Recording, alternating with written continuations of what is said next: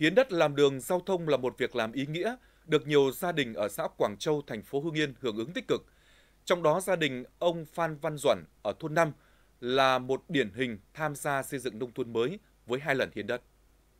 Được tuyên truyền qua các phương tiện thông tin đại chúng, qua các buổi họp thôn, anh Duẩn thấy được ý nghĩa của chương trình mục tiêu quốc gia về xây dựng nông thôn mới và cần có sự chung tay đóng góp của cộng đồng. Để tạo điều kiện cho người dân đi lại dễ dàng, thông thương hàng hóa được thuận lợi, từ năm 2018 đến nay, gia đình anh đã tự nguyện phá rỡ công trình tường bao, cổng nhà, chặt nhãn để hiến trên 200 mét vuông đất để làm đường giao thông.